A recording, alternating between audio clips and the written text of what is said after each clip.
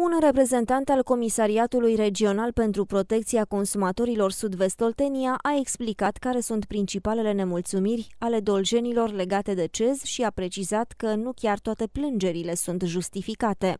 Mai mult uh, privind uh, furnizarea de energie electrică. Uh, faptul că facturile nu sunt în concordanță cu consumul pe care dumnealor consideră că l-au, că ar fi defect fără să existe o probă foarte certă, Autoritatea Națională de Reglementare în domeniul energiei a justificat acele taxe, timbru verde, taxele de stâlp sau ce Dumnezeului mai erau. Toate astea uh, au fost, uh, s-au făcut uh, informarea consumatorilor pe site-ul Autorității Naționale uh, pentru Reglementare în domeniul energiei și chiar al autorității noastre.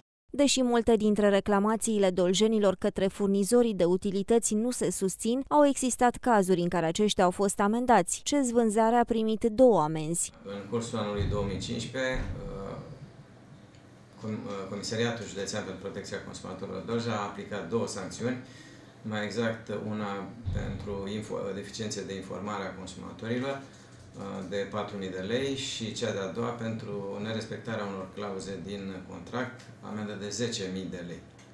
Uh, ce clauze nu a respectat din contract uh, furnizorul de energie? Fac precizarea că orice clauză din contract nu este respectată de către uh, operator economic prestator, este pasibilă pentru sancțiune. Furnizorul de energie pentru regiunea Olteniei CEZ Vânzare a primit zilele trecute o amendă de 500 de mii de lei de la Agenția de Reglementare în Energie pentru nerespectarea regulamentului de vânzare a energiei către clienții săi casnici în perioada 2014-2015, inclusiv practica facturării în avans a consumurilor de energie.